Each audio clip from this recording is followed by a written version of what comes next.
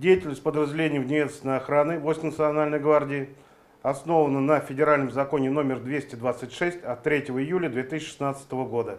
Охрана на договорной основе особо важных объектов, режимных объектов, объектов, подлежащих обязательной охране в соответствии с утвержденным перечнем постановлением правительства Российской Федерации. Также осуществляется охрана имущества граждан и организаций, обеспечивается оперативное реагирование на сообщения о срабатывании охранно-пожарной и тревожной сигнализации на подключенные к пультам централизованного наблюдения подразделений войск Национальной гвардии объектах. Сотрудниками отдела внедорожной охраны постоянно патрулируются улицы города и на любые сообщения о происшествиях, произошедших на маршрутах патрулирования, сотрудники группы задержания реагируют немедленно. 29-22. Ответь Ядрин.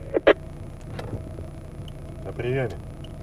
16.21. Сработала охранная сигнализация квартиры Пановской Светланы Григорьевны. Город Сергиев Посад. Улица Толстого. Дом 14, квартира 2. Подъезд 1, этаж 1. Как принял?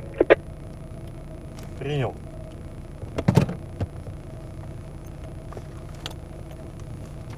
Эффективность и надежность местной охраны проверена временем.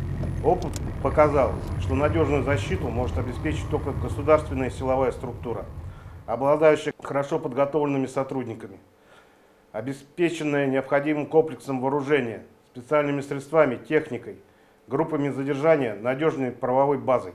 Уважаемые граждане и жители Сергиево-Посадского городского округа, в период отпусков и началом дачного сезона лучшим способом уберечь свою недвижимость, дом, квартира, дачу, гараж, от кражи или взлома по-прежнему остается заключение договора с отделом внедведомственной охраны Войск Национальной гвардии Российской Федерации.